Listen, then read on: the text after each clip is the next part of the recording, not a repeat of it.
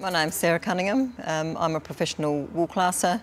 I um, have been involved in the shearing industry for the last 20 years.